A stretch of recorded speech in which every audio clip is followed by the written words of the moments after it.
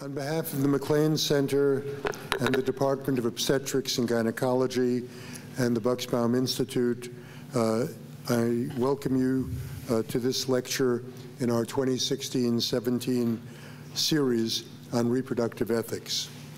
It's my pleasure today to introduce my old friend, uh, dear colleague of long standing, Farr Curlin. Uh, Dr. Curlin uh, left the university about three and a half years ago uh, and is now the Josiah C. Trent Professor of Medical Humanities in the Trent Center for Bioethics, Humanities, and History of Medicine, and also the co-director of the Theology, Medicine, and Culture Initiative at Duke Divinity School. Uh, at Duke, uh, Farr practices palliative care medicine, and works with colleagues in the Trent Center and the Divinity School uh, to develop opportunities for education and scholarship uh, at the intersection of medicine, theology, and culture. Before moving to Duke in 2014, uh, Farr founded and was co-director uh, of the program on medicine and religion here at the University of Chicago. Farr has authored more than 100 articles and book chapters dealing with the moral and spiritual dimensions of medical practice. His work is focused on the relevance of religious ideas and practices for the doctor-patient relationship, the moral and professional formation of clinicians, and the virtues required of a good doctor and the care of patients at the end of life. Dr. Curlin's talk today as you can see behind me, is entitled Contending Conscientiously for Good Medicine with Respect to Human Reproduction. Please join me in giving a warm welcome to Farr Curlin. Thank you. It's, uh, it's a delight to be back at the University of Chicago, to be reminded of how beautiful the weather is all the time. Um, it's an amazing day today. Um, and it's uh, have many happy memories here and, and much gratitude for, particularly for uh, the, what I received as being part of the MacLean Center uh, for Clinical Medical Ethics, and particularly from, from you, Mark. Um, I've been asked to speak on a topic that can only get me in hot water. Um, and so here I go. Um, you know, if you, if, you, if you focus on the intersection of uh, the substance of religious faith, particular traditions, and medicine and ethics, uh, sexuality and reproduction uh, come up, not infrequently. And if you focus, as I do, on, uh, on what it is uh, that medicine is properly understood to be for and how we become the physicians we profess to be, and um, conscience uh, looms large. And I'm going to try to talk about how those come together here. Uh, recently, a friend and colleague called me to ask, did I do the right thing? This colleague is a professor of obstetrics and gynecology at a top tier academic medical center, and she focuses there on gynecologic surgery. That morning, she had seen a patient in clinic. The patient came to see my colleague because the patient was having uterine bleeding. The patient requested that a hysterectomy be done to remedy that bleeding. The reason the patient was having uterine bleeding, it became clear, is because the patient was receiving exogenous testosterone from a local endocrinologist as part of a plan to transition from female to male in her gender expression. My colleague had not faced that situation before and was uncertain how to proceed, but she told the patient in so many terms. I know this is an area of some controversy, um, but the reason you're bleeding is because you're receiving exogenous testosterone, not because there's something wrong with your uterus. And as a physician, I, I can't in good conscience remove your otherwise healthy uterus. I don't think that would be good medicine. The question I want us to wrestle with is, did my colleague do the right thing, or did she do at least a thing that ought to be uh, permitted within the, the, the discipline of obstetrics and gynecology. Is that refusal that she gave a refusal that's consistent with her profession as a physician? Is it consistent with her choice to become an obstetrician gynecologist and then an expert in pelvic surgery? Three weeks ago, the New England Journal published an essay by Ronit Stahl and Ezekiel Emanuel titled Physicians Not Conscripts Conscientious Objection in Healthcare. Some of, some of you see that piece? Not many. Well, in it, Stahl and Emanuel argue that my colleague's refusal, however conscientious, should not be tolerated by the medical profession. How can it be, they ask, that healthcare professions, medicine, pharmacy, nursing, etc., these professions can profess to adhere to what uh, Rohit and, and Emanuel called, or Stahl and Emanuel called a role morality, and yet allow for their practitioners to refuse to engage in practices that the professions approve. For example, they note that under the aegis of conscience, there are physicians out there who refuse to perform abortions or in vitro fertilization, even contraception, gender transitions, and all manner of other practices that the health professions accept.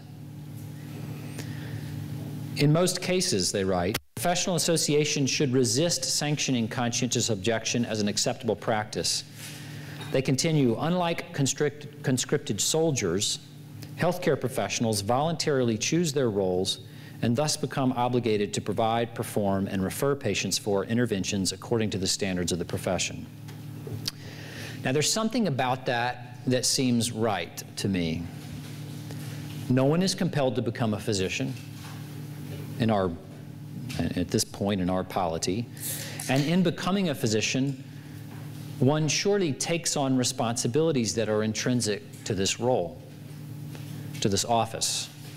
No one is compelled to become an OBGYN in particular. And in becoming an OBGYN, surely one takes on responsibilities that are specific to this role. So far, so good. But the confident assertion that doctors must fulfill their professional obligations and not let personal qualms get in the way leaves unanswered some looming questions. What are those professional obligations? What are those responsibilities that come with one's profession to be a physician? What does it mean to fulfill one's obligations as a physician with respect to sexual and reproductive health care in particular? Now, here's my argument in a nutshell.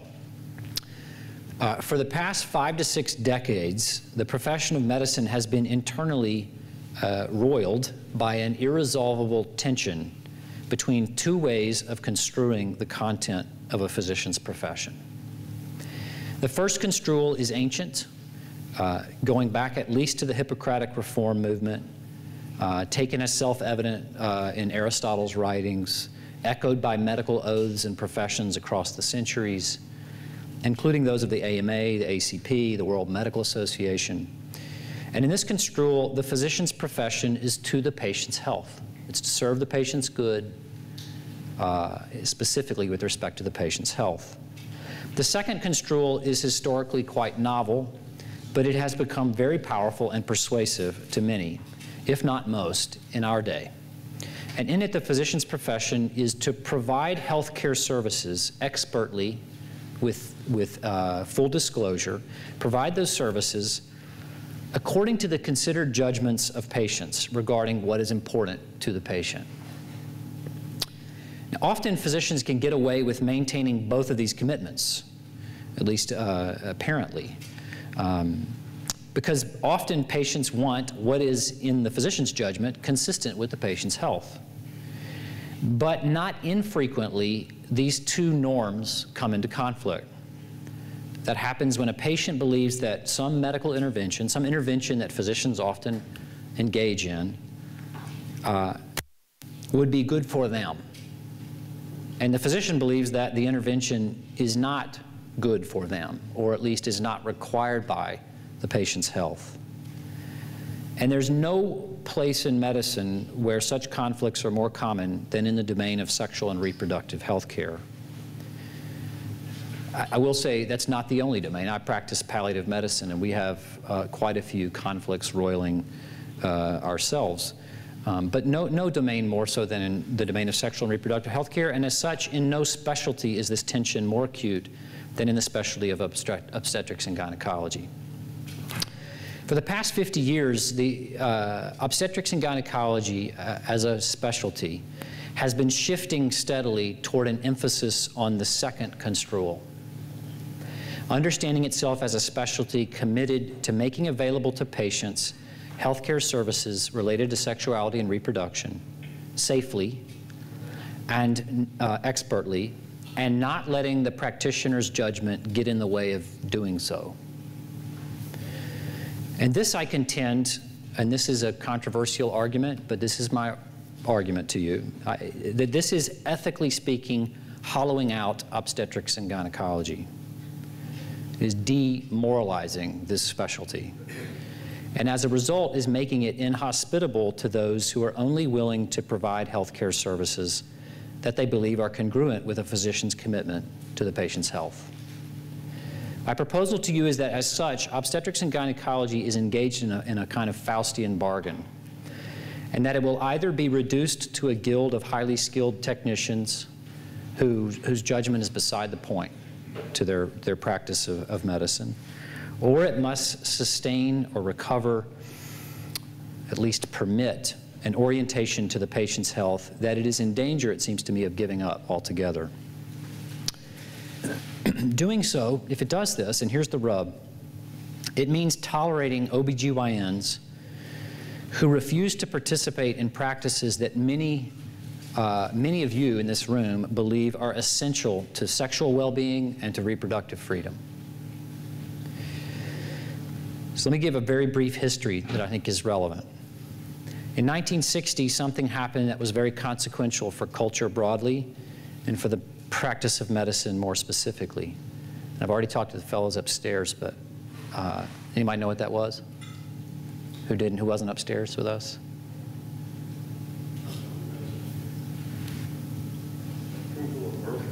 Approval of birth control.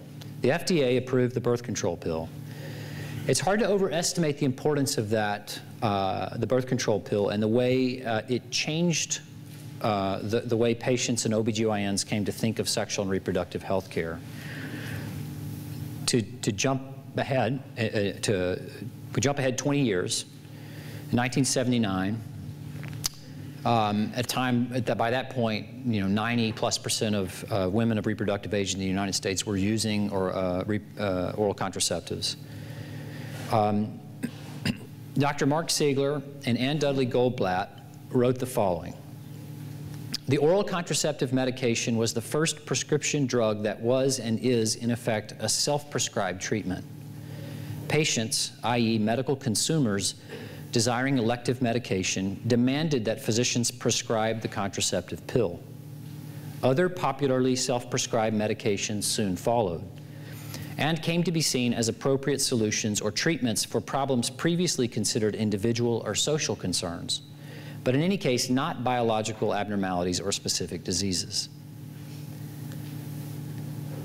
Now, nowhere has this been more true than in the domain of sexual and reproductive health care, where we have, of course, all kinds of different contraceptive technologies, uh, sterilization, uh, abortion, of course, assisted reproductive technologies of all types, including uh, artificial insemination, in vitro fertilization, prenatal genetic diagnosis, now gender transition services. And to accommodate this growing uh, number of different uh, interventions that are not obviously as required by the patient's health, let me just say up front, part of why it's hard to talk about this issue is that it, I'm not saying that there's not a, arguments to be made, even and arguments that many find compelling, for why each of these things is congruent with the patient's health. I, I am simply at this point proposing that it's, it's, it's much more controversial. There's a lot more contention about these than there is, say, about uh, you know, doing a procedure to stop uterine bleeding or, or in some other way uh, more obviously preserving um, and restoring a woman's health. Anyway, to, to accommodate these, obstetrics and gynecology has had to migrate its orientation, its sense of what it means to be a good OBGYN away from an, an, a norm that stands apart from patients' wishes, and particularly away from the norm of the patient's health, and toward a more open-ended accommodation of what the patient believes is consistent with her good or her well-being.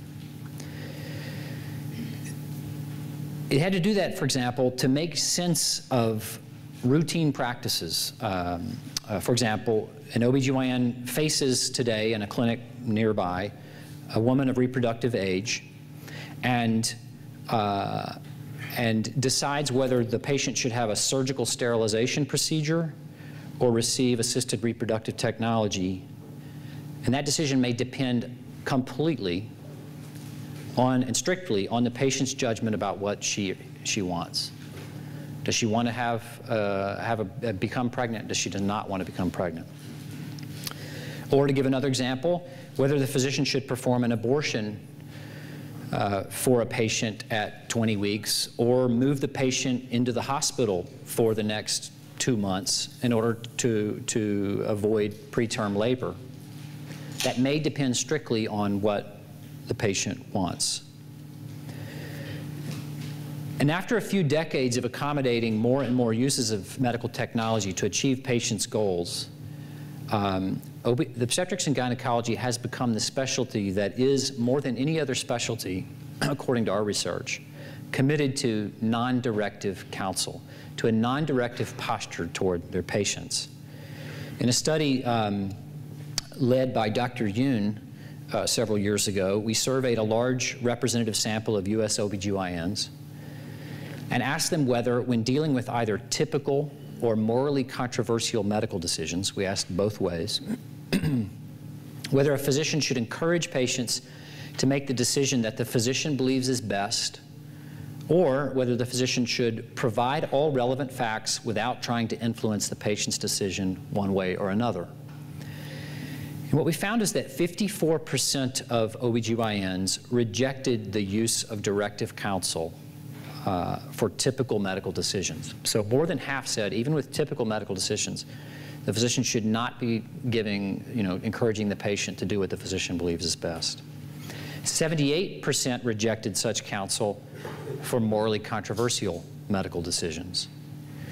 And we found that there were uh, highly significant uh, associations uh, between being more non-directive in one's counsel and being female, younger, born in the United States, and less, less religious.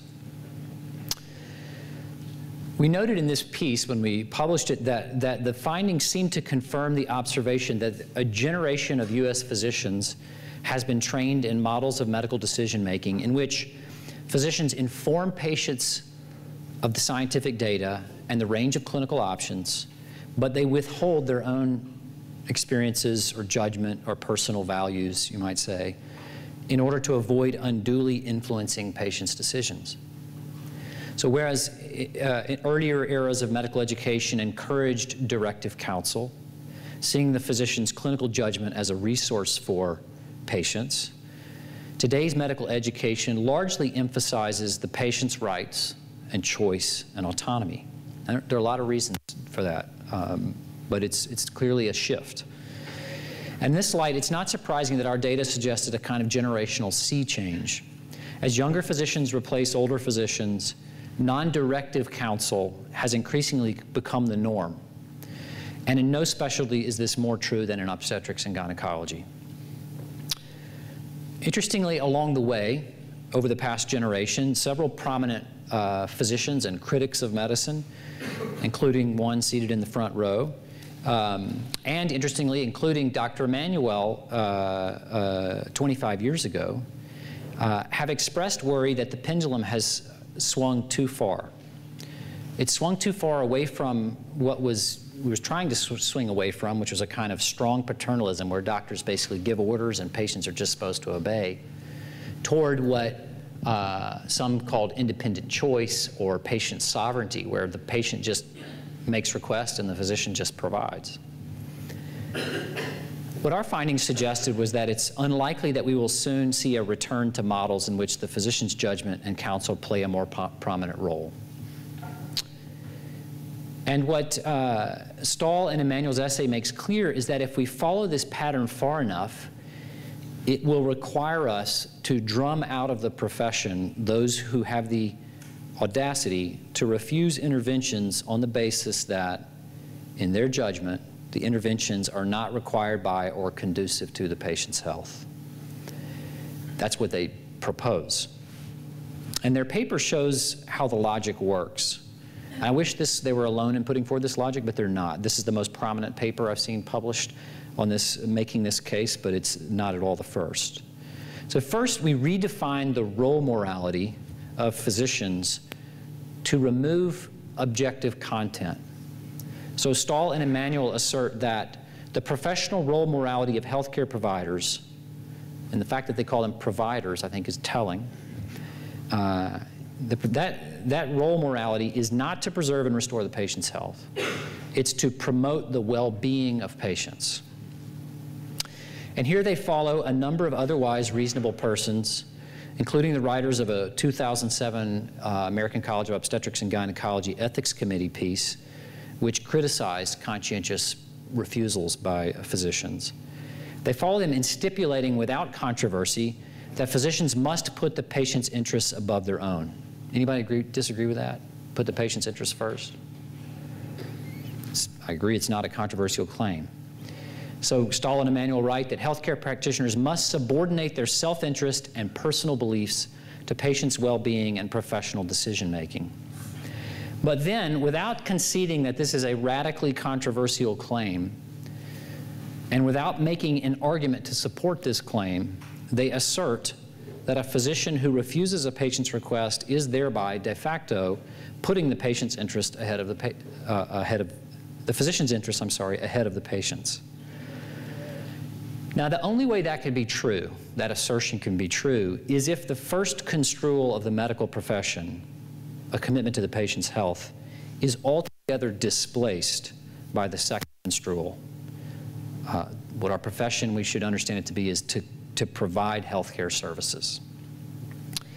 And they don't, although they don't bring themselves to say it directly, Stahl and Emanuel's argument requires the physician to act as if the patient's interest, that interest that the physician holds in trust as a physician, as a fiduciary, just is what the patient wants from the physician, so long as what the patient wants is an intervention that the profession allows and that the physician has the skills to provide. And the kinds of practices that Dr. Siegler and, and Ann Dudley Goldblatt anticipated, particularly those having to do with sexuality and reproduction, loom large in their argument.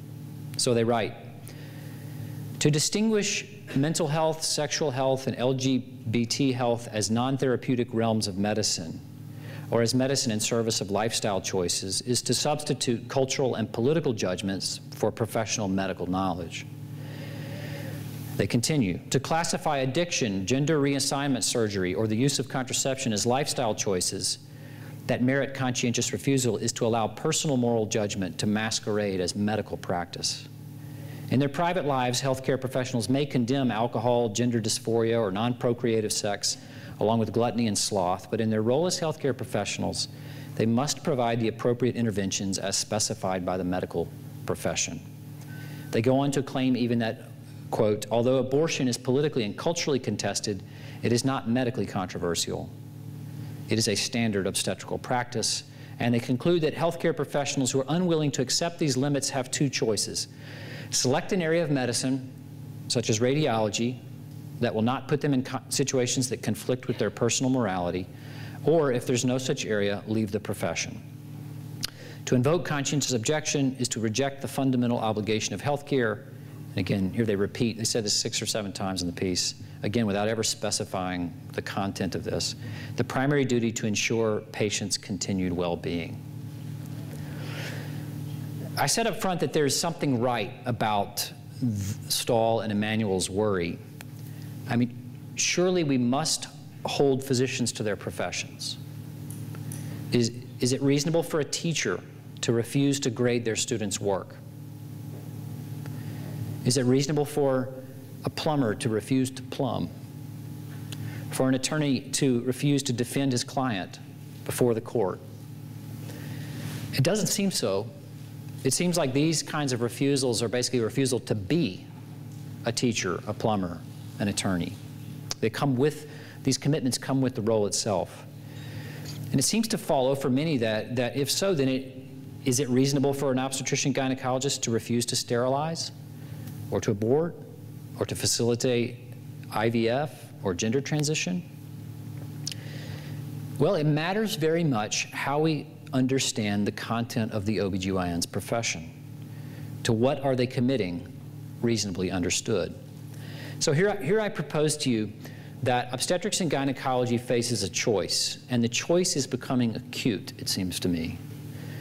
It will either allow for and remain hospitable to those who are willing to commit themselves to practicing obstetrics and gynecology under this historic construal of the medical profession, in which case it must allow for OBGYNs to forego participation in all sorts of interventions that are typically, in our time, provided by OBGYNs, but which are not obviously, the argument is made, uh, obviously required by a commitment to the patient's health.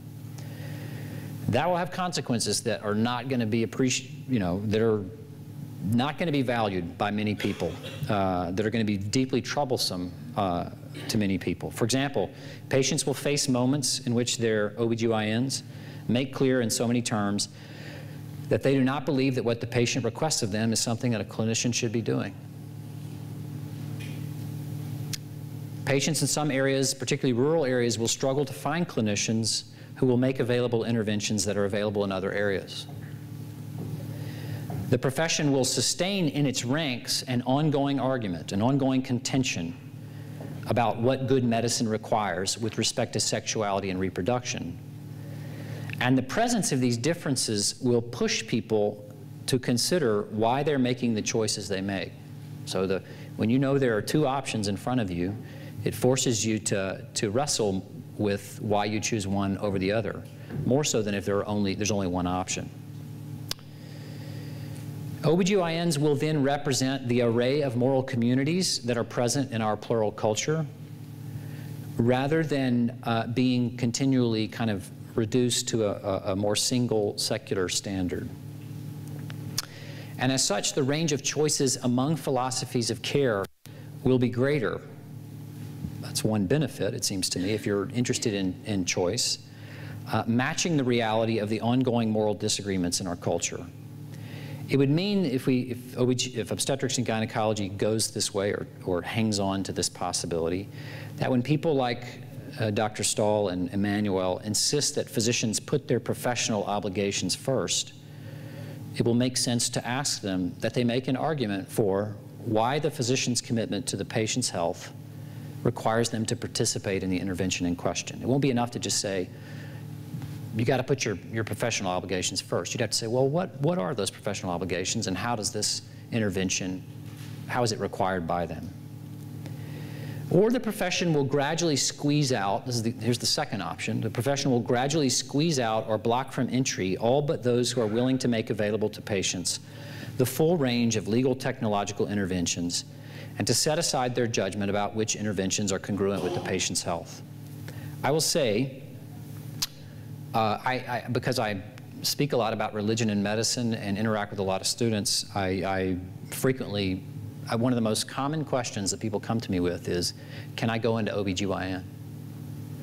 So it's already very clear that the experience of people uh, considering obstetrics and gynecology, if they are a committed Roman Catholic or uh, uh, a committed Muslim or a committed evangelical Christian, those are very common uh, um, categories that they think, can I make it in this profession? It doesn't seem like this is going to be a profession which I can practice conscientiously. If, if obstetrics and gynecology goes this way, it will be hospitable only to those who are willing to engage in elective abortion, sterilization, contraception, in vitro fertilization, prenatal genetic diagnosis, surrogate pregnancy, artificial insemination, gender transition surgery, and so on, whatever comes next, whatever's allowed by the law and accepted by the profession. It seems to me to follow logically that then only a minority of Americans will be candidates to be obstetric, obstetrician gynecologists. And paradoxically, patient choices will be reduced insofar as patients will not be able to seek out trained clinicians who share their judgment that such practices contradict the purposes of medicine. It's, it is the case now that there are many patients who would like to have obstet obstetrician gynecologists who are committed to their health and committed uh, to not engaging in an array of different practices that are legal and accepted by the profession. Um, I hear reports of people who have these kinds of clinics and have people drive long distances to, to see them. Um, so there's a kind of, uh, that, that is um, a kind of alignment that will have to go away. The colleague I mentioned would either have to, into this construal, either have to, to go, to leave the, the, the discipline, or she would have to go along, doing what she believes she should not do as a physician, keeping to herself her judgment that the intervention requested of her contradicts, as best she can tell, it contradicts her commitment to that patient's health. Now, note what this does to the idea of practicing medicine conscientiously. So conscience, is, it's amazing how often the, the term conscience is uh, spoken of in ways that um, at least strike me as not aligning with historic uses of the term. The conscience is, and you could, uh, is the capacity of reason that any of us deploys when we're judging the moral quality of our own actions. So when you decide, you know, should I eat that dessert, you're, you're exercising your conscience. When you decide, should I tell that lie, you're exercising uh, your conscience. Um, under this newer construal of medicine, where medicine is, its primary profession is to make available uh, healthcare services, then conscience, the conscience of the physician is a threat. It's a threat to good medicine. It's an external imposition. And it's often referred to in that language of individual values, personal values, uh, individual conscience, and so on. Something that doesn't belong in, in the mix of the practice of medicine and it has to be kept from interfering. Under the older construal, uh, in which the purpose of medicine or the end of medicine is the patient's health, the conscience is a resource. Um, it's what we call clinical judgment. And under this construal, my colleague's refusal uh, would not be best characterized as an expression of personal values, interfering with professional obligations but, an but be, would be described as, a, as conscientiously practicing her profession according to standards that the practice of medicine itself requires of her, chiefly its orientation to the patient's health. I'll end with this. I quoted Dr. Siegler and, and Ann Dudley Goldblatt before. Um, here I'll read a quote from them uh, from a paper noting an alarming trend what they called the demanding patient. The demanding patient presents a serious danger to clinical medicine, they wrote. The demanding patient denies that the physician's responsibilities and expertise have any relevance except insofar as this coincides with the patient's desires. The demanding patient inverts the traditional model and makes the physician a passive agent. The patient proposes, the physician provides. The physician becomes a technician practicing under the direction and control of his or her client.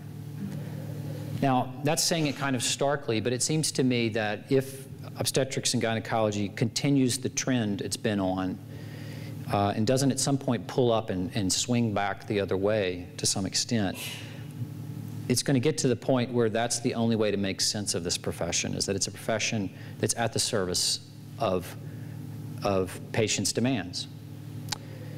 And um, I hope that the, the, this specialty is not willing to go there.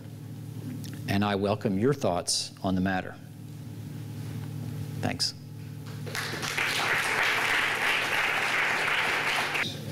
Open for questions, comments. Um, not Julie, but please. You're next.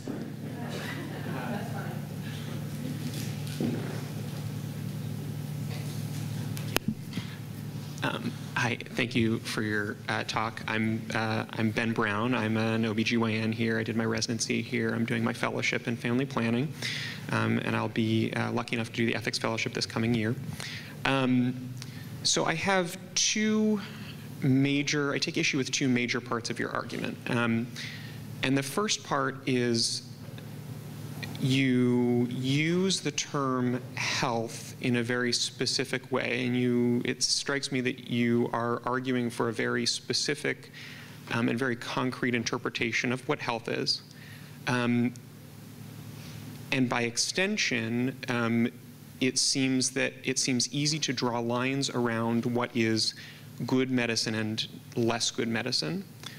Uh, and my problem with that is that um, uh, the um, you you then you then took the step to say that um, some of the reproductive health decision-making processes that we're discussing here, i.e., abortion, contraception, um, gender confirmation, uh, are more controversial with their in regard to their health benefit, uh, or more dubious perhaps in regard to their health benefit in comparison to other forms of care. Um, and I wholeheartedly disagree with that because the point of the reason that these treatments are so important to my patient's health is because they are enmeshed in a broader context in a way that strep throat isn't. So I suspect that you would have a major problem with a physician saying, um, I don't believe that giving penicillin for your strep throat is an appropriate treatment. Rheumatic fever isn't all that common, uh, rheumatic heart disease isn't all that common, that would be bad medicine. Um, and uh, in the same sense, um, for me to say to my patient, I don't know, I think you can have another baby right now.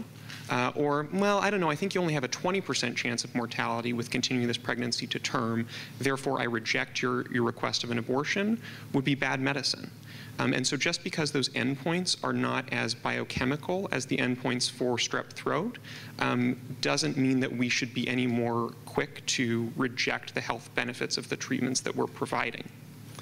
Um, and as, an, as, as the second point, building off of that, I would say the challenge that I have, I think you set up a very stark contrast. Um, between the sense of physicians as technicians or the sense of physicians as um, uh, autonomous actors with their own conscience. Um, and I think that that's, I think that's a, an impoverished view of the, of the circumstance because in the middle ground is the negotiation between the physician's utilization of conscience and the patient's exercise of conscience.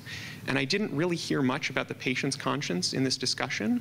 Um, and I, I worry that when the physician has veto power over the physician's or the patient's exercise of conscience, half of the people in that room are, are being restricted in their conscientious um, activity. Um, and that can't be consistent with the values of our profession. So uh, I'll try to be brief uh, in my response. I mean, the first thing is we have to you have to get clear about what the conscience is. It it just I'll just say it it can't make sense to say the physician's conscience trumps the patient's conscience because your conscience only judges your own actions. Right? I, I can't have a conscientious objection to you doing something. Um, it, is the, it is the fact, it is a case, it's clearly the case that when a physician exercises conscience and a patient exercises conscience, they can have conflicts. And those have to be resolved according to where authority is distributed ultimately. And where patients have authority, then physicians have to, you know, have to accede to that authority. And where my, part of my proposal is, is, is uh, uh, to, to ask what is the authority that physicians have um, in making judgments about which practices they will engage in. Um, now, you, you mentioned, uh, I, I, you're not alone in believing that uh, these practices are, are necessary for health. So my claim, again, is not that there's not an argument there. I find that argument a stretch. The notion that, for example, let's put put it really starkly, patients in front of me, um, they're 28 years old, have been having regular sexual intercourse with their partner for five years. and have never gotten pregnant. My guess is you would say, I, I, my sense is something might be wrong. Your health might, there might be something wrong in your reproductive health. And you would act in a way reasonably to try to figure out what it is and see if there's something to be done about it. The fact that that's true, I think, points to that it, it has to be at least somewhat controversial to say that making someone in, unable to get pregnant is required by, uh, is health promoting in the same way. It's, I, I hear the arguments. You could say, well, they, it reduces their risk long term of other things.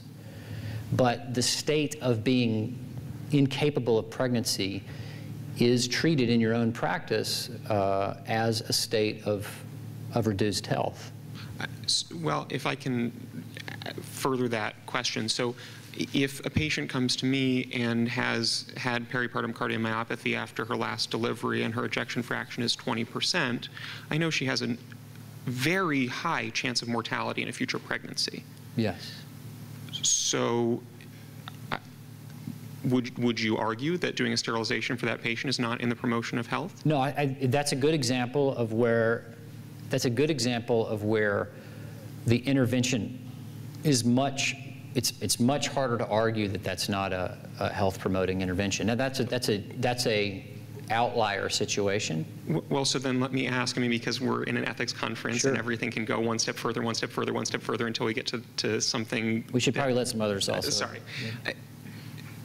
So if that patient then subsequently, um, uh, if that patient has five children at home and just lost her job, and another pregnancy would mean that she can't afford to put food on the table for her kids or buy her other kids insulin, it strikes me that that's health promoting as well. Yeah, right? I, I, wouldn't follow you there. Um, and I, I realize there's, there's arguments to be made. But you have, here's, the, here's the question. Can you think of a definition, in your construal of health, is there anything not included in health? That a patient values and finds really important to her? I'm not sure I can give you a succinct answer off the top of my head, but I would say there's very little because I because I subscribe to, the to a similar definition to what you're describing in the paper in terms of uh, well-being uh, and and and to a justice-minded approach to the healthcare that we that we provide for our patients. No, you're not alone in that. But it, what it means then is that physicians are responsible and have an obligation to use the, the resources available to them to pursue any, almost anything. Our, our aim is, is, is not, to me, it's, it's much too broad. Um, and historically, it's, it'd be unprecedented to construe it that way. Um, it seems to me so, but it's again, this is that's the, that's that's where the argument is. Yes. So as an OBGYN, I, I take offense to the contention that, or the, the, the proposal that essentially I'm, I'm pursuing a lifestyle profession, right? That, that all of the things that I do are essentially addressing lifestyle issues. And I think it's really interesting that this move towards, you know, that, that things like contraception and gender transition, et cetera, are becoming part of our profession probably it's not a coincidence that our profession is also becoming more and more female. Right? So we as OBGYNs are more and more female, and I think that we are therefore reflecting what women view as our health. And it's very easy to be a male, and uh, obviously not, you know, all men are in this position, but I, I think it's an incredibly patriarchal take on what health is. And I don't think it's a coincidence that my profession now is, you know, 85 to 90% women. And as a profession, you know, granted not everyone in this profession, but the vast majority of OBGYNs view these components as being essential to health. And again, I think, you know, one person's definition of what is or is not a part of health should that dictate what services or what care we're able to offer to individuals? I don't think so. Um, should that should an individual OBGYN's judgment about what's conducive to their patient's health should that bear on what, what they're willing to do? Again, I think that I don't think that an individual should be bound to um, actually provide, I don't agree, I don't agree that an individual should have to participate in a procedure that they feel is morally wrong. I think that they are obligated to help a woman access that care. Um, And I think that as a profession, we have to have a commitment that we will enable patients to access this care. I think that there has to be a base level of acceptance that these are the things that we have to ensure women have access to. I mean, do you think it's a coincidence that, that these, this, these aspects of care have become a bigger part of our profession as more and more women enter this field? Um, No, I don't think it's a coincidence. The, the, you know, the, the, the uh, women make up most physicians now coming into medicine. So, and it's not surprising to me, given that obstetrics and gynecology attends to women's reproductive uh, lives and their sexual organs and so on, that, that most OBGYNs in the future are going to be women. Um,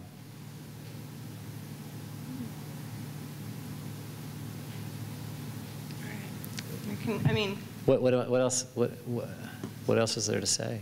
I mean, I, is, if, if, if the argument is that, I guess I would, I'll say this, if the argument is that if you're a woman, you can see that, that the second construal is the right construal, then that's clearly not true. I mean, you're finding, you find, we do find statistically significant associations, but, but the, the, these disagreements only modestly correlate with gender across the culture. So, um, I'm not, so I'm not sure what I'm not sure what the what am I missing? Am I not, if I'm not responding to something, Dan says stop talking.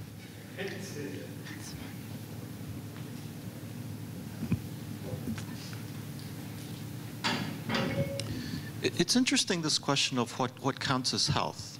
Um, Good to see you. hey, good to see you too. Um, you know, in psychiatry, it's, it's controversial uh, prescribing stimulants for people who don't uh, satisfy the criteria for attention deficit disorder.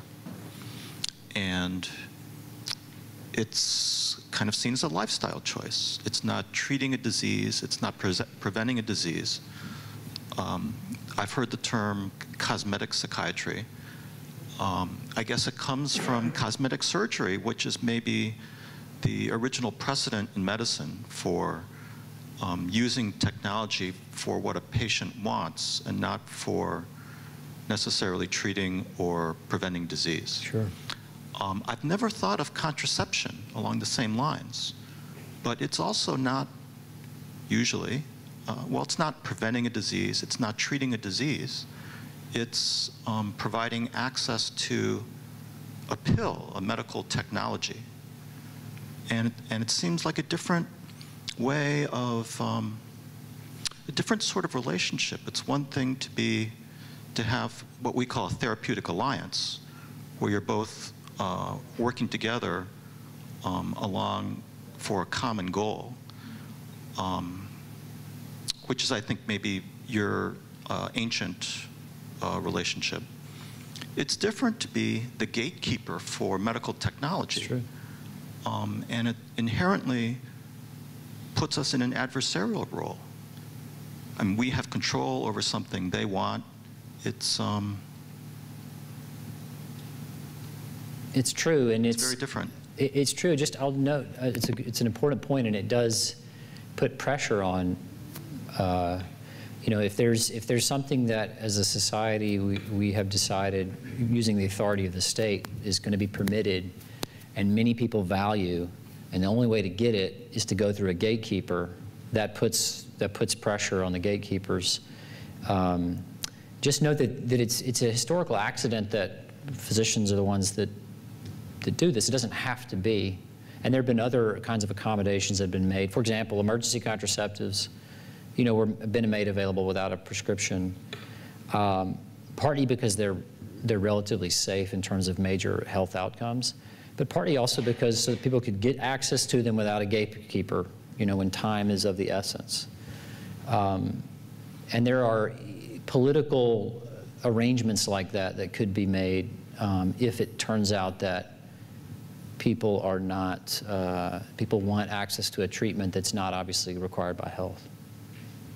So far, I am not, I'm going back to our pre-lecture discussion and where we left off because I too find that as a psychiatrist, I have difficulty with your construal of health because it seems to me that it implies either a carve out for mental health or a kind of tone deafness to the importance of psychiatric health and well-being.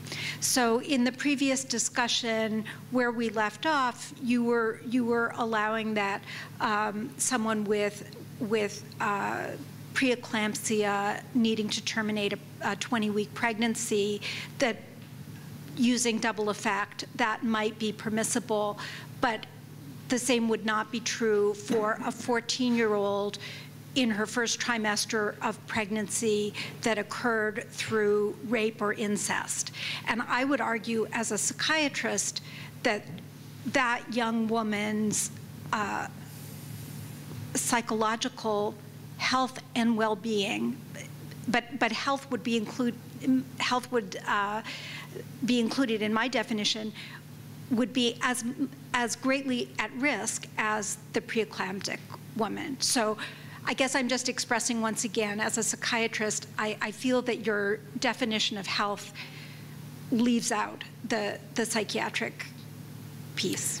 Um, I don't think it does, but obviously it requires further further discussion of how it does not. Um, but it seems to me the the the idea that psychi my guess is because from the psychiatrists I know that the psychiatrists themselves are making judgments frequently about whether the use of a drug is restorative of, of mental health capacity that makes it possible for someone to kind of flourish, to have what you might call the, the you know, the, uh, Leon Kass called health the well-being of the organism as a whole and activity of the body in accordance with its ex specific excellences. That there's a, a, kind of, whether it's, it's restoring that capacity or whether it's trying to obtain some capacity that's actually something else. Um, performance on tests, uh, you know, staying up all night, et cetera, having, having relief uh, from a feeling that one finds difficult. You make those judgments, do you not? Yes, and, and I think that's what Bob was alluding to, and I'm familiar with that concept of, of cosmetic neuropsychopharmacology. But I think that in the instance of a 14-year-old who was raped by her father, um, for for her to be deprived of the opportunity to exercise her conscience and undergo a first trimester abortion would be would be harmful, would be life-threatening in the same way that denying the preeclamptic 20-week gestation woman would be harmful and life-threatening. I don't think, I think the cosmetic this isn't one of those nuanced cosmetic judgments. Just notice that the, the it seems to me that the, the harm there that you're worried about is, um, uh, is, is, it's real. Um, it is a, it is an effect, it is a consequence of, of the pregnancy and continuing the pregnancy. It's not the, the, the abortion itself does not, um, it has effects on those, uh, on, on health, but it's not itself health restoring. Would you agree? The, the pregnancy is not health restoring? Do you mean continuing well, the pregnancy? What is, what is it that is unhealthy in that young woman? This is a tragic, awful case, but I, but I, I maybe we should move on because it is so tragic and awful. Would you require of, of physicians that they do the abortion? I, require that they find someone. Yeah. Yeah. Don't think in, any of us, well, I, am speaking for myself, I wouldn't require any individual person to carry out that abortion. But you were saying earlier, in our earlier discussion, that you felt that it was unjustifiable in, in your view. Um, And so I'm, I'm pressing you on that because, because I think it speaks to the larger issue of, of health. And that's what I mean by a psychiatric carve-out. Yeah. So this is, this is the point at which it gets the most uh, controversial, um, uh, it seems. But the argument, Dan, uh, if you're interested, is that um, in a, such a tragic case, by killing the fetus, if, if, it just builds on the most basic human uh, sort of ethical construct, which is you don't kill the innocent. You just don't. I'm sorry, that is a religious decision. Well, that, that, that's what it builds on. If you believe that you, if, That's the basic thing that you're really not bringing up here. is that health as a Your, your stuff, your, your idea about what life is, is based on your religiosity. so I, Religiosity is not accepted by a vast majority of, of people. And so, so So- that becomes problematic when you try to impart that on the general populace. I think your ethical arguments make a lot of sense. I think doctors should not do things that are against their conscience, you know, and, but at the same time, you know, I wouldn't do CPR in a person who is obviously dying. So I'm not an ICU doctor, you know, I don't put myself in that situation. And I, I follow my conscience. At the same way, if, you know, you go into a area that one of your things that you do is to, to do abortions, then either you get that person the abortion or you find someone else to do it. You know, it's, it's pretty straightforward, I think. and the fact that people will go distances to find somebody who has their same religiosity is fine. People can do that, and they should be allowed to do that. But to, to predicate that whole, the whole practice of medicine on that, I think is a mistake. I think what happens is that you have some really good philosophical and religious arguments, not religious, ethical arguments, but that it gets subterfuge by your own religiosity, which I was it was pleasant that you didn't get into it during this talk, and I appreciated that. But I think the subtext is there, and so that, that's the problem I have with it. so just notice that the statement I made was the norm that you, that you're never, it's never permissible to kill the innocent.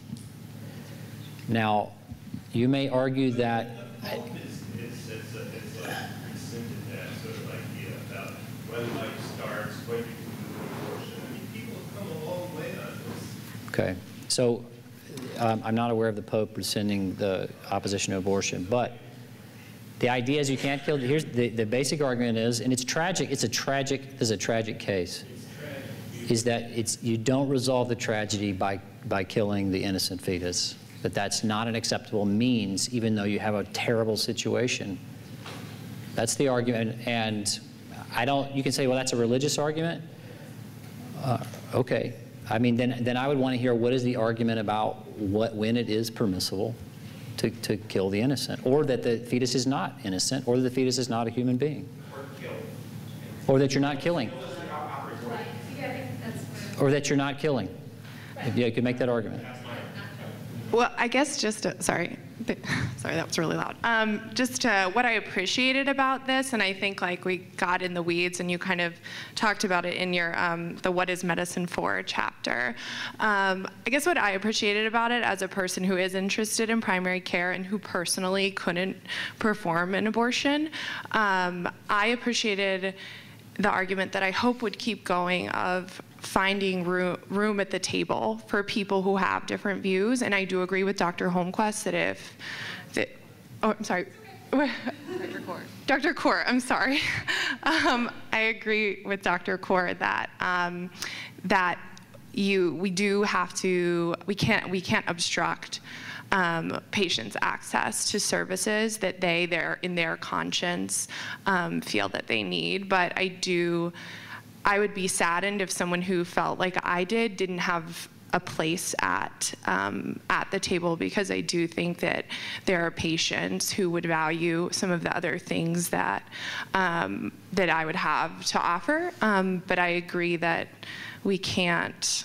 Uh, if it goes so far as obstruction, that that crosses a line that I think does harm to the patient. Um, so that's what I found really compelling about your argument because sometimes it's hard to um, you know it's hard to wonder whether is there a place for someone like me at the table? And i think i have a lot to offer as a primary care provider um, but i definitely have concerns about those services.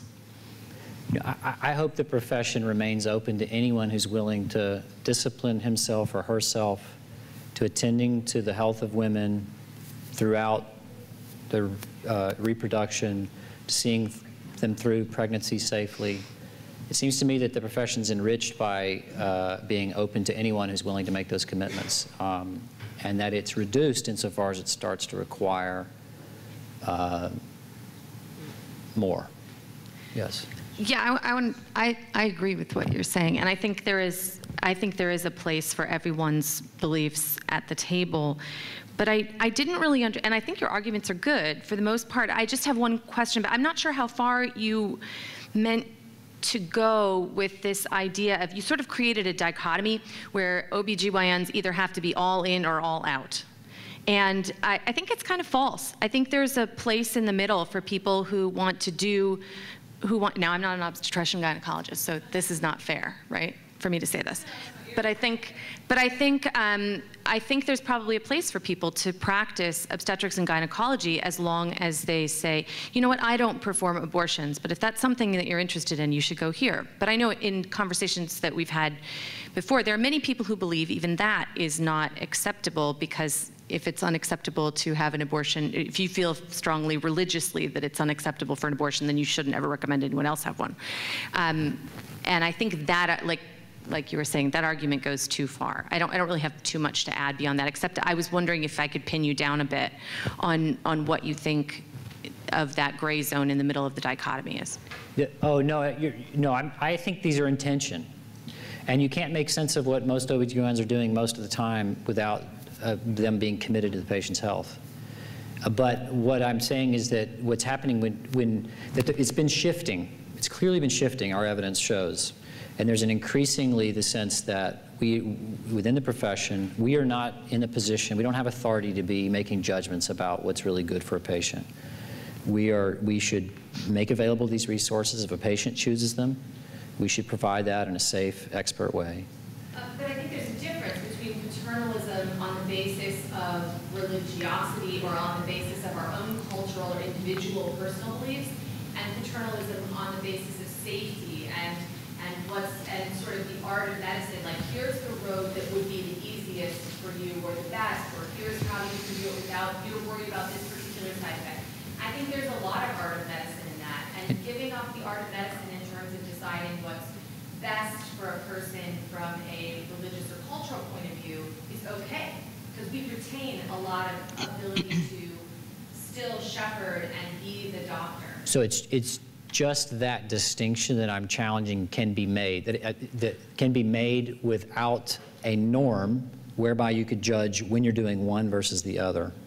So how do you know when the physician says, I'm not going to give you contraceptives because that sterilizes you temporarily, and that's, you know, that's not what I do. I'm, I'm, I'm a physician, I'm oriented to your health. There are people who will give you that, but I don't think it's a good practice.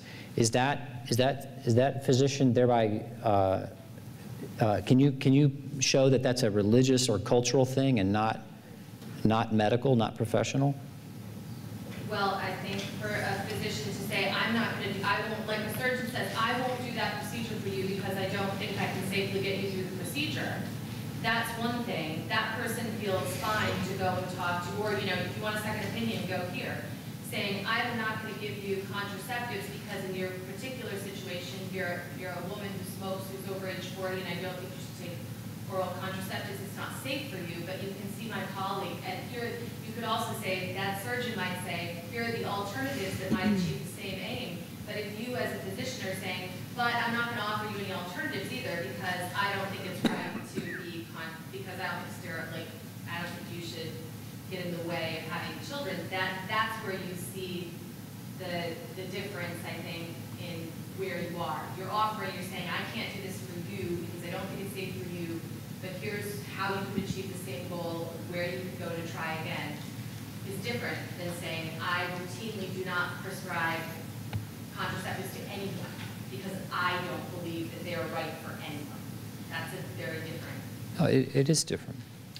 Claire.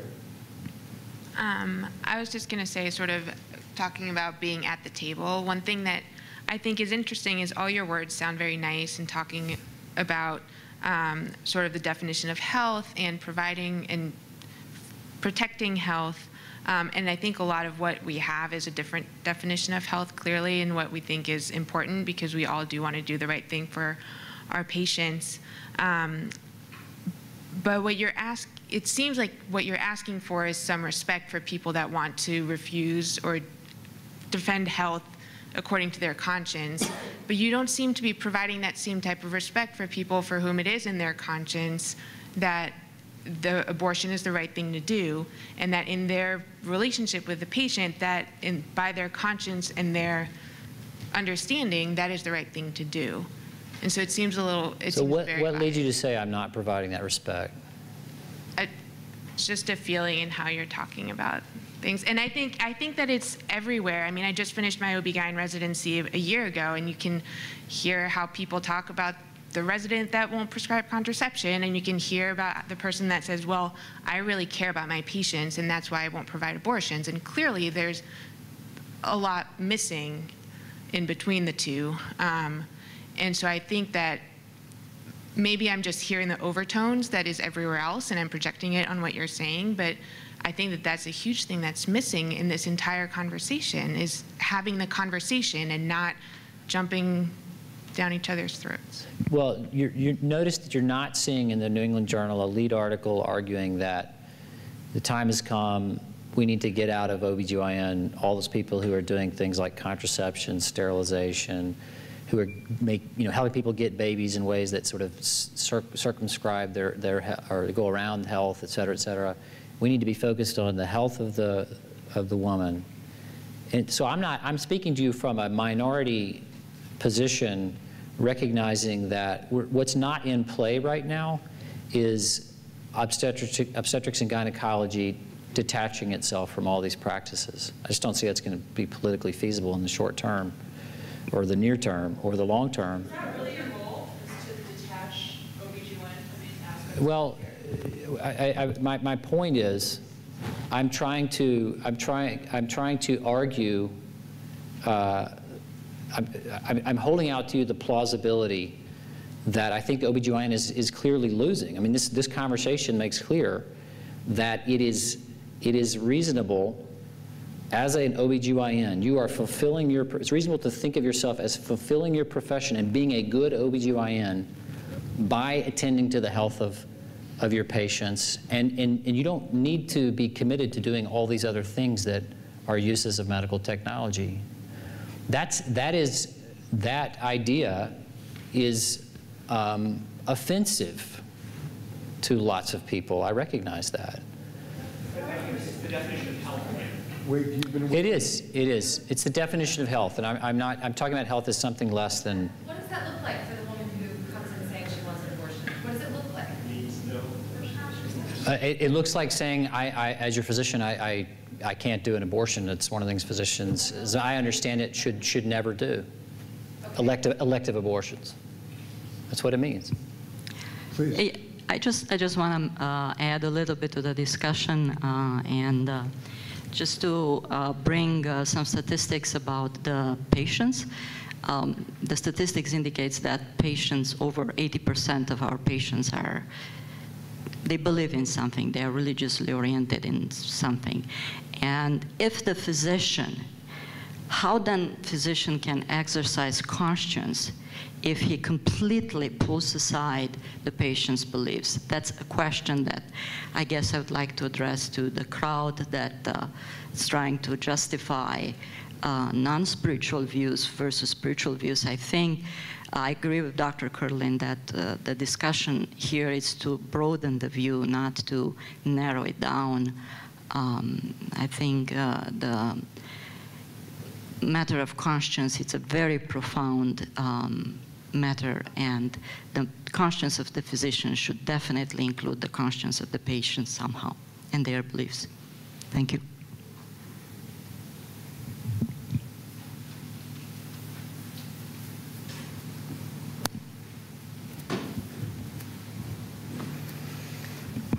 Hi, you had asked about what it was about the way you phrased your response that would indicate in response to the lady over there, what about what you said was, didn't take into consideration the other point of view? And it struck me that when you talked about the 14 year old who came in and was raped, and you talked about killing the fetus, it's the very language that you use and the way you phrase this, the description of the situation that marginalizes the health and well being of that 14 year old who got raped. So, that to me was an example. You know, I, I'll be honest with you, I, don't- I don't know, I, I realize this is an area of disagreement, but it seems to me the very point of an abortion in that case is to kill the fetus. Um, the very point of the abortion, in my estimation, I'm not a medical professional, I am a woman. The very point of the abortion is to restore to that young woman who has been so tragically abused some modicum of health and mental well being. Absolutely. That's the reason the abortion is done. I get that. That's, that's the end that someone has in mind. The act itself is an act of killing the fetus. Um, and that's, that's all, that's why people, that's why abortion's controversial. I don't, I don't see why this should, this shouldn't be a controversial idea. This is, this is, this is why people still argue so much about abortion. From a religious perspective. No, it's yes. not, it's, it's, you know. Because only The idea that you're killing the fetus, I don't think is a religious idea. It's just a, it's just an observation that the fetus is dead afterward. Um, Well, if you were talking about it from a non-religious perspective, you would refer to it as terminating a pregnancy, not killing a fetus. Okay, so there- your very language Yeah. implies otherwise. Okay. So, can I? I, I appreciate the vision of a more pluralistic profession. I'm wondering how you would ensure that if I were going to a physician or to a hospital, that I would know what that understanding of health and well-being health is, or the moral framework, because I think that a lot of what we've heard throughout the year is that in institutions, it's not clear who you're going to get.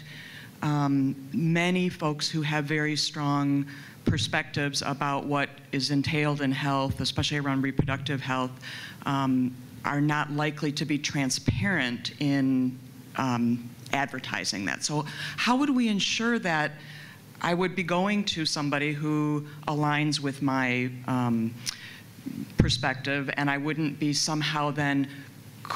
I, I'm thinking of it as almost coercion if I'm in there by somebody saying this is not good for your health, and I come in with a different understanding of what health is, and I have no clue. So I'm thinking, well, I'm going to suffer as a result of this. Then what, what do you think would be a, a reasonable way to do it? I that? have no idea, but I think that's what it would entail is somehow being more transparent about this pluralistic community that we have.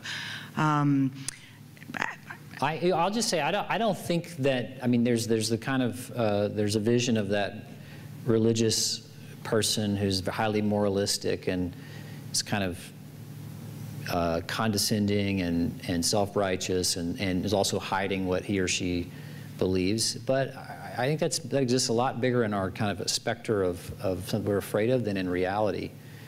Uh, the people I know who don't do things that they know people are going to expect them to do find ways to, to make that clear as, as upfront as they can. And of course, it varies by their situations, particularly tough for trainees um, who are not responsible for their patients, um, you know, in the, in the academic system. But clinicians in the community that I know, for example, who don't uh, prescribe contraceptives, which is a very small number in the OBGYN, it's probably about 2 to 3% at most. Um, they make that clear on their first phone call or in literature and so on, because they, they- you know, they're not interested in people being hoodwinked. Um, and people, a lot of people seek them out because that's the way they all they share that that sense.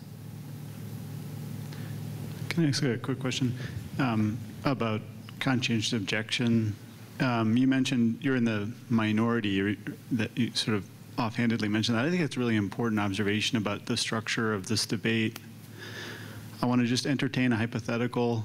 Uh, If you were in the majority, um, if there was a medical procedure that, around which there was some debate, but that was outlawed, let's say abortion was illegal, and an OBGYN uh, conscientiously elected to perform that procedure, would you defend that person's right to, to exercise their own conscience?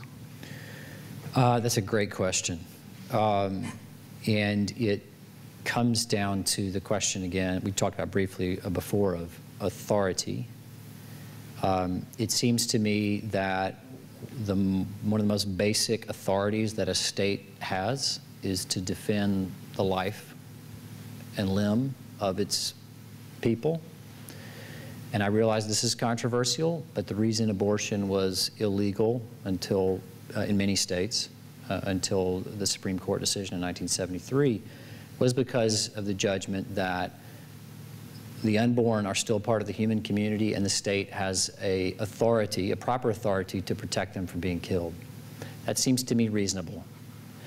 The profession of medicine has, has had, until the, the last two generations, pretty uniformly, at least in the West, a uniform opposition to abortion by physicians.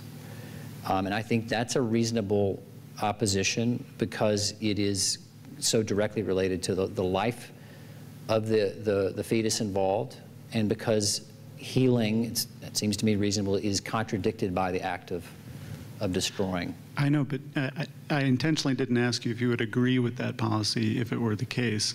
Uh, instead, I want to know if, if there were a controversial procedure that were banned, if you would take the same position with regard to conscientious objection as you do now. It depends on the procedure, but I, I would not support. So you would not I would not support conscientious objection?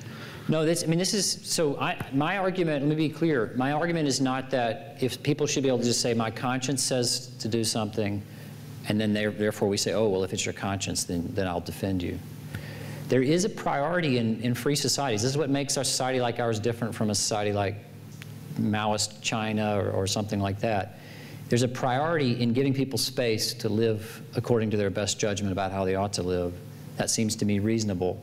But there have to be limits on it. And it seems like one of the limits is the limit of life and limb. You can't, you can't destroy.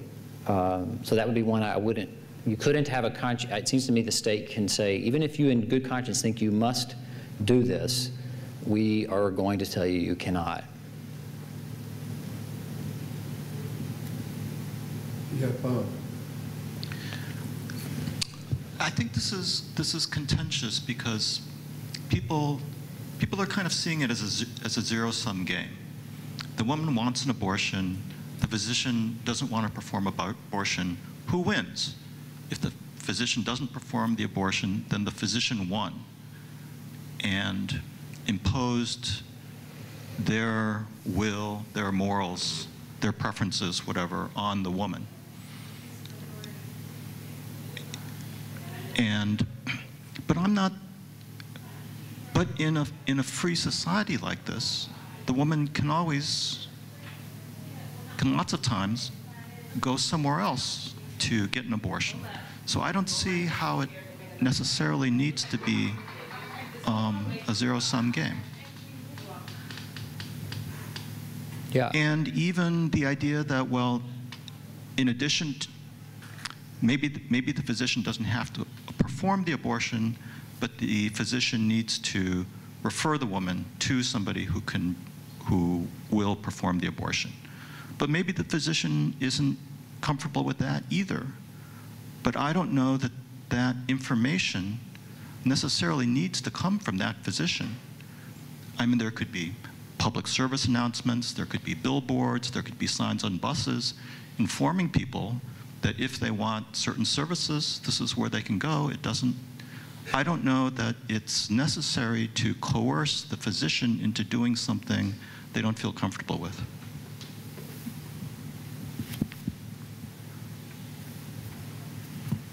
Um,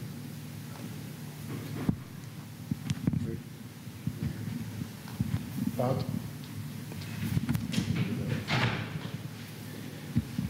So I just want to clarify your view on something. Um, the idea has been raised uh, multiple times so far that uh, a patient comes in, requests uh, an elective abortive service, and the physician says that they have a conscientious objection against that. My question, trying to be very clear, is do you think that it is the physician's obligation in that moment to refer that patient to another provider who will do it for them? It's a good question, and it's, it's interestingly picking up on, on Bob's comment as well. It's being put to the test in a way that it hasn't um, uh, before. Um, uh, right now in Ontario, um, the College of Physicians and Surgeons a year and a half ago issued a new policy called uh, something like patient healthcare rights something. And the policy says in so many terms that if a physician cannot, in, in good conscience, um, participate in some legal medical intervention, they're clear that includes the whole array, which includes now assisted suicide, which is part of why it's an abortion. Um, the physician must take, and this is the language, positive action to bring about an effective referral. And then it stipulates that. That's basically you got to make sure the patient has an appointment with somebody that you know will provide what they're, they're seeking. Um, that seems to me uh, unjust um, insofar as it, in two, on two ways. One is it, again, just steps past the question of what it is that the physician's profession requires. It essentially takes for granted that the profession requires making available services. And, uh, and two, it, it coerces physicians to engage in uh, practices that, to, to become, and they use language, you know, positive action and effective referral is essentially language you could almost draw out of Catholic moral theology to say, you will make yourself complicit in this action. You, you will have cooperated in this action. Um, so, uh, I no, I don't think the phys physician's obligated to make a referral. Um, physicians are obligated. Your referral is a moral action. I don't refer people to people that I don't think are offering something they, they should have. Um, now, if patient, yeah, I mean, so I, I would, I, I would not encourage a physician to refer that patient. I think, uh, I think we'll, what? I mean, this, uh, let me just say, this, this has been. Told you I was going to get in hot water. Away the most controversial session of our 25 sessions thus far. I want to thank Farr. Far and away.